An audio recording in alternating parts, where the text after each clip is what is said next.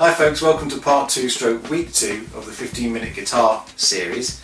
Um, hope you got on okay with last week's. Um, if you didn't, don't beat yourself up about it. Stay positive. You can start and stop this whenever you like. It's up to you. Just like last week, we're going to split it into three 5 minute sections again. Technique, theory, ear training. And the whole point of this is it will all come together at the end um, and make a little bit more sense to you, especially the theoretical stuff while we're doing that. Okay, so let's jump straight in then. Your first five minutes for this week is the minor scale, one octave, for picked for five minutes. Pick the same way as before, the last time, alternate picked, and here it is. So we're playing the G minor scale, G natural minor or G Aeolian. And that will make sense a little bit later on when we look at modes, but for now just think of it as G natural minor and we're going to be playing the third fret on the E string which if you were looking at last week's theoretical paper that I placed on the screen you'll probably, some of you may have remembered what the notes on that uh, string are now. So you go E, F, F sharp, G. So you'll see that that's the case. So G is your first note, third fret, first finger. Then we're going up to A, which is the fifth fret, and then a sharp or B flat, 6th fret. Then you repeat that pattern, exactly the same pattern, on the next string down, so on the 5th string. Okay, and the last two notes to play are the 3rd and 5th fret on the D string.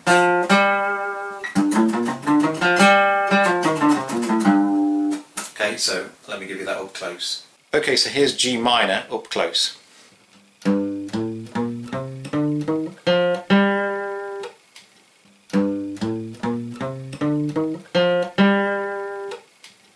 The minor scale, it's one octave, it's alternate picked uh, for five minutes. Go.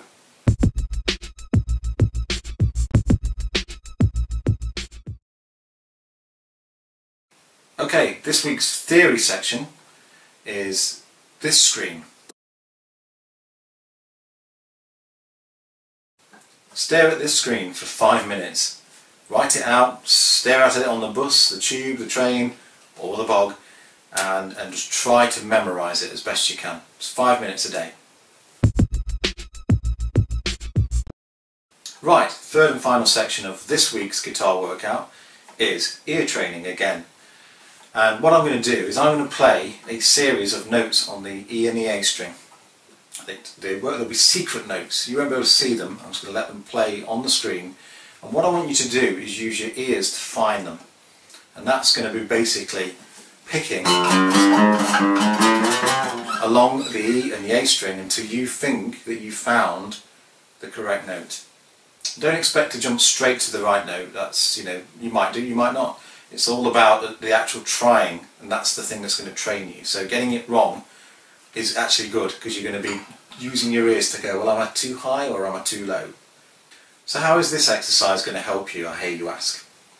Well basically what you're doing is you're training your ears, your fingers and your brain to um, identify pitches because invariably you're not going to get it right straight away.